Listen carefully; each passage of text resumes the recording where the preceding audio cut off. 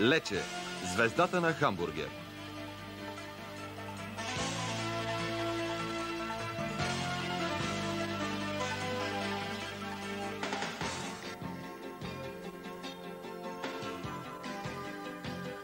Господ е българин. Тази крилата фраза обиколи света след знаменателната победа на нашите на парк Дьо Пренс.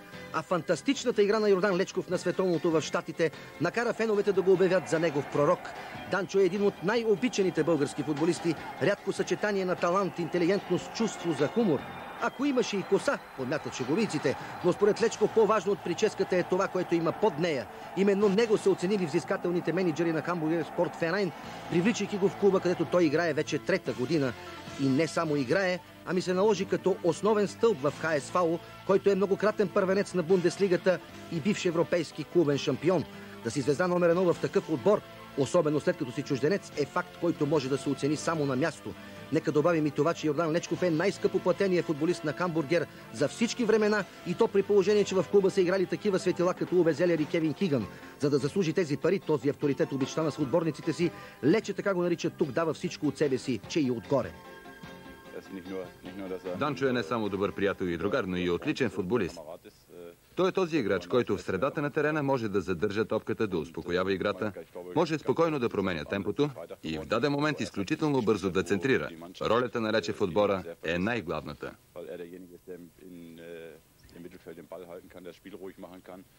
auch das Tempo variieren kann, schnell spielen kann.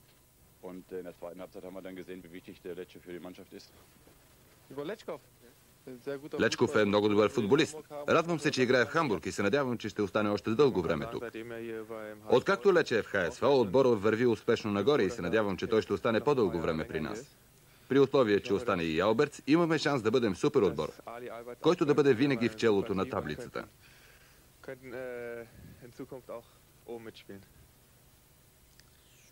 В Хамбургер знаят как трябва да се отнасят с звезда като българина. След като съм номер едно на терена, всичко трябва да ми е номер едно. С самочувствие от Сича Лечков. И автомобила, последен модел Мерцедес, и колата, и условията за живот на мен и семейството ми. Но Данчо е един много земен човек. Никога не забравям кой съм и откъде съм сподели той, след което отново се върна на любимата си тема – колите.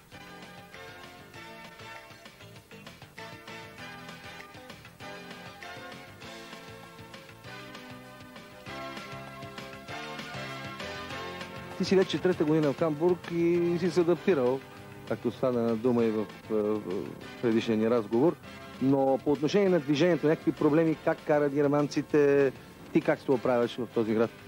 Германците карат 35-40 км, това е нормално.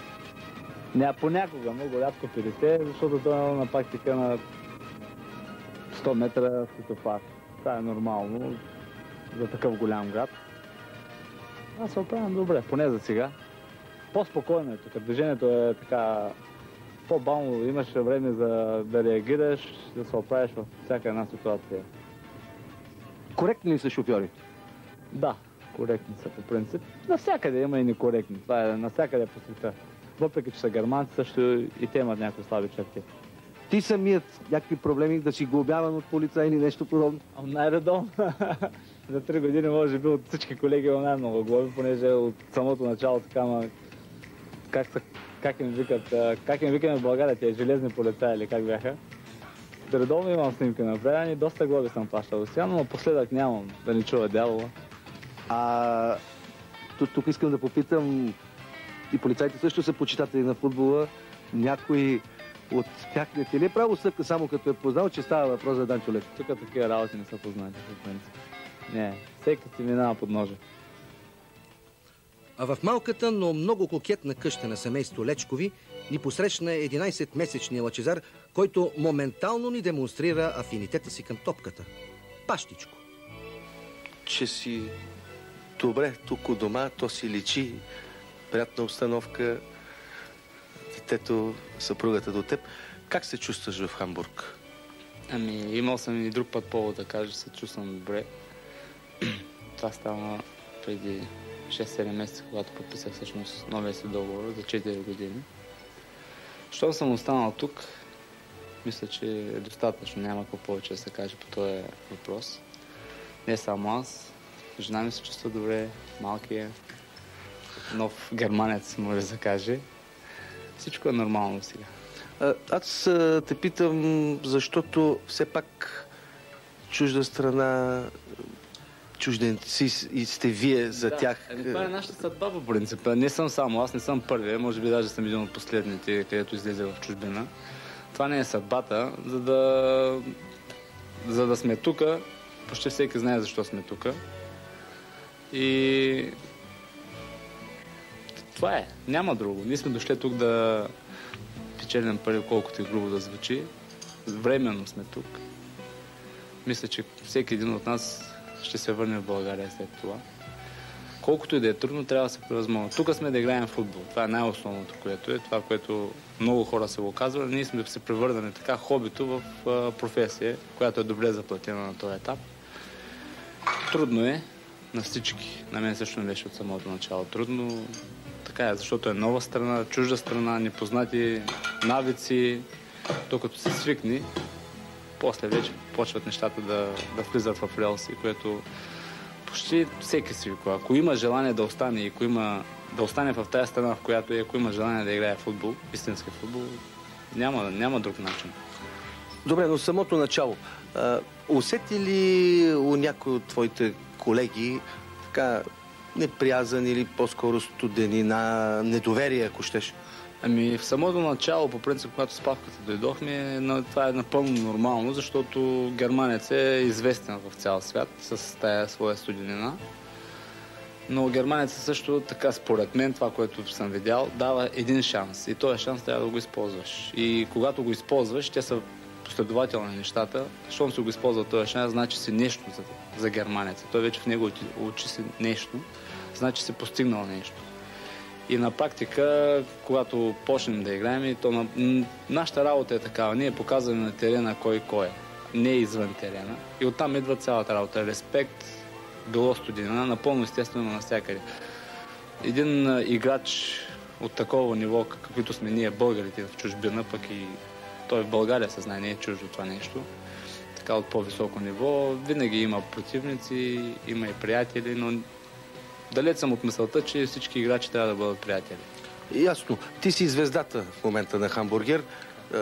усещаш ли пък, че другите ти завиждат за това, че един чужденец се издигнал над тях, защото де-факто е така. Точно това имах предвид, като ми казахте няколко думи, но не се спрях по-подробно. Да завиждат няма за какво, защото на практика това си... Аз за това съм и Лечков, затова те, са, те си имат също своите имена.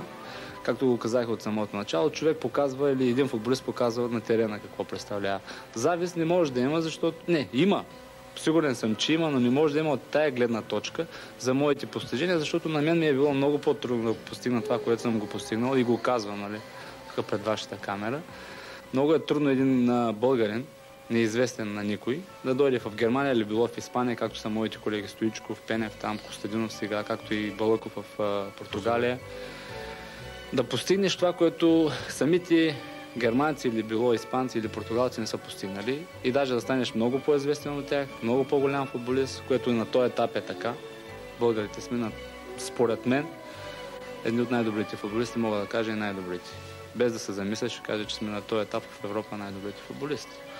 Аз Малко съм... изключение от другите страни. Има трима, че сме също добри футболисти. Трудно ли е да се изтърпи един Йордан Лечков? Въобще не е трудно. Той е много приятен даже за търпене. Напротив. Приятно е даже и да се живее много с него. Добре, а, вие обаче самата каква промяна усещате у него? Той не можа сам да каже в тези две години, откак е, и повече, откак е в Хамбургер. Промяната е много голяма. Тя не е само в него, тя е в цялото ни семейство. Преди две години, например, не беше родено детето. Ето сега детето е тук. Промяната в семейството е огромна. А в него имам чувство, че това е нещо като етап на еволюция. Ти самия как преценяваш е, участието на България на световното първенство? Да изключим, че стигнахме до четвъртото място. Така, много хора по принцип го дължат това на случайността. За мен не е случайност. Аз и друг път съм казвал и тук за Хамбурга също става въпрос. Футбол се играе с добри футболисти. Както в самото начало на разговора казах, ние имаме най-добрите футболисти. И за мен за това няма случайност. Ако хората са паметливи, имаше двама-трима човека преди да заминем за Америка, които казаха, че играем четвърт финал или полуфинал. Затова, че за мен специално случайност не е. Аз също пред камера, не знам дали вашия екип е бил, казах още тогава, че играем на полуфинал. Затова, че пак повтарям, за мен не е било случайност, а тия, които си правят такива иллюзии, това си е за тяхна сметка. Мисля, че можем да, да докажем това, така и моите думи, на европейското първенство, но трябва първо да се класираме и тогава да говорим за европейското Почти никой не се съмнява. Аз имах възможност в студиото на нашето предаване и с Боби Михайлов да разговарям и с нас, Косирако. Всички са убедени, че ще се класираме. Но точно знаеш тук ли... се крият, това да имах предвид, точно тук се крият а, такива неща, когато някой казва, абе да, добри сме, но недостатъчно, нали, като... Изненади винаги могат да се получат, както се получиха и за Америка. А, толкова сигурно не трябва да бъдем. Въпреки, че редното би било да се класират от нашата група Германия и България за Англия, за европейското първенство, но не да се предпазим. Аз мисля, че ще се класираме, но всичко става. Никой не знае какво ще бъде утре, да говорим за след една година. И ставаше въпрос за следното. Ако направим така едно просто изчисление, според качествата на футболистите, които в момента са в нашия национален отбор, аз може би съм максималист, но бих казал, че почти няма по-добър отбор. Значи, за да може този отбор да се реализира, т.е. защо да не говорим за един европейски шампион, какво пречи? Нали, мога да бъда криво разбран, ние все още не сме толкова добър отбор. Или да кажа, по-точно да кажа, много добър отбор. Ние сме добър отбор, но има неща, които още трябва да се, да се доизгладят. Ние За това като- става дума. Кои неща? Така, като индивидуалности сме големи футболисти. Нали? Но като отбор още не може да се говори, защото това е моето мнение, което може, може някой да му звучи така неприятно, но това е моето мнение. Има, мисля, че това става с течение на, на мачовете, нали, с течение на това, че ето имаме квалификации, докато стигнем до Англия, живот и здраве, пак я повтарям и ще я потретваме доста Англия, там вече да, да, да израснем като един истински отбор, както бяхме, например, срещу Германия. Защото срещу Германия за мен бяхме добър отбор, затова победихме, а не бяхме добър отбор срещу Швеция. Пак си бяхме същите футболисти, но не бяхме добър отбор. Това е моето мнение. Да ме извинява той, който не е това мнение. Да, аз абсолютно съм съгласен и мисля по същия начин. Понеже стана дума за Германия, златния гол на Лечков. Нека да... Много интервюта си давал и специално за този гол и за играта си срещу Германия и на целия отбор. Но нека още един път сега да кажеш на нашите зрители в този момент почувства ли преди да донесеш удара, че ще вкараш гол? Какво изпитваше? Инстинктивно ли беше всичко така вече от едно вродено чувство, което има футболиста или как? Ме тя самата ситуация води. На практика точно и така се получи. Аз бях длъжен да се пласирам добре, понеже бях единствен в тая лява зона. Всички бяха, почти всички, както и защитниците на германския отбор бяха в а, дясната зона, наша дясна зона. Бях длъжен да се предложа за топката. Се предложих, паса беше добър от Златко Янков и това вече останалото го знаем всички. Добре завърши за нас. Преди да попадне топката в мрежата, усети ли гола? Да, мога да кажа с чиста съвест, че го усетих, просто знаех, че ще стане гол. Самата ситуация, затова казах самото начало, че, че ситуацията подсказва. Господин президент, какво е за Хамбургер Шпорт Ферайн Йордан Лечков днес? Den Jordan Letschkow. Ние открихме Йордан Лечков по време на срещата за купата на УЕФА тук в Хамбург и нашия тогавашен треньор Шок каза, че това е един великолепен играч, който може да бъде от голяма полза за Хамбургер и че президиумът трябва да направи всичко възможно, за да бъде привлечен. Това стана през следващата година. Йордан игра две години при нас и ние от ХСВО сме извънредно щастливи, че той удължи договора си с нас за още 4 години. Искам да наблегна с 4 години. Това говори за взаимно доверие. Ние имаме огромно доверие на Йордан Лечков и той има доверие на ХСВ. Радостни сме, че Йордан Лечков, този брилянтен футболист, играе в Хамбургер. Когато гледахте матча Германия-България и нашият Лечков вкара гол, как реагирахте? Съжалявам, че България не стана световен шампион. Бих се радвал много за вас и смятам, че гола, който отбеляза Лечков срещу Германия, беше върха на неговото великолепно представяне на световното първенство. В никакъв случай не му се сърдя, защото винаги съм казвал, че спорта побеждава по-добрия, а в този ден българите бяха по-добрият отбор. На другия ден естествено отидахме на матч, а още по-естествено бе да попитаме феновете на ХСФАО какво е тяхното мнение за Лечков. Ние сме от Българската национална телевизия и снимаме филм за Лечков. Какво очаквате от матча? Очакваме Хамбургер да спечели. А с какъв резултат? С 2 на 1. А дали Лечков ще вкара гол? О, даже два.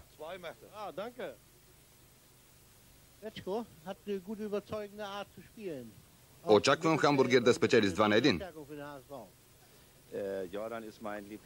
Лечков е мой любимец. Когато той е с топката, отбора е спокоен. Може да се движи. Жалко е, че няма подходящи играчи около него и в повечето случаи той трябва да разчита само на себе си. Всички му стискаме палци да няма контузии, за да ни до- достави и в бъдеще удоволствие. Искам да подчертая, че това, което може той с топката, не се нуждае от коментар. Лечков е най-добрият играч на ХСВ. Щом той е в Хамбург, Хамбург ще стане шампион. Днес ние ще победим с 2 на 1. Алберт ще вкара първия, Шпьорл втория гол след пасове на Лече. mindestens ein Tor und Spöll das 2 zu 1. Wann, wann gibt's das im Fernsehen? Bulgaria Fernsehen, Bulgaria. Morgen? Im deutschen Fernsehen. Bulgarisch. Let's go! Let's go! Let's go! Let's go! Let's go! Агитката на Хамбургер не е от най-атрактивните, което разбира се не означава, че не подкрепя своите любимци, особено пред такъв тежък матч, какъвто беше този с Кайзер Слаутерн. За съжаление, екипът ни не получи разрешение да заснеме самата среща, но тя и не завърши по най-добрия начин за тима на Лече. Явно и отсъствието на другия българин Петър Купчев си каза думата. Данчо, предвижданията ти, че матчът ще бъде тежък, се оправдаха напълно. Загубихте една много ценна точка. Защо не можахте да си я вземете? Ти обичаш да казваш, имаме си точки, трябва да си ги Е, вземем. Практика си бяха наши двете точки, но това, е, това беше директен съперник, каза Слатер, не е вчерашен отбор. А, имаме още два матча, мисля, че оттам може- ще можем да се вземем точките, въпреки че са тежки противниците, но тук в това първенство няма домакински матч, е така и навън, когато играем. Да, ти, естествено, от терена не можеш да се прецениш добре, но как оценяваш играта си днес? Ами не съм много доволен от играта си, въпреки че така имах добри идеи, дадох а, добри пасови, но след като не се осъществят, всичко е на вятъра. И на нас ни направи впечатление няколко твои паса, просто като че ли не бяха използвани от а, твоите съотборници. Какво му куца на отбора в този момент? В този момент нищо не му куца, всички сме уморени, най-вече аз и пецата, които сме участвали на световното първенство. Мисля, че не само от нашия отбор, ето от Кайза Слаутен също имаха 3-4 човека, които участваха на световното. Говорихме с тях, всички са уморени. Малко почивка, т.е. Малко почивка, да, един месец, два, обаче няма кой да ни я даде. Наистина, след тази блестяща за кариерата му година Данчо Лечков има нужда от почивка, но докато и дойде времето, той най-добре се разтоварва и не го крие с малкия лъчко. И нека когато искаме толкова много от футболистите, не забравяме, че и те са хора и всичко човешко не им е чуждо.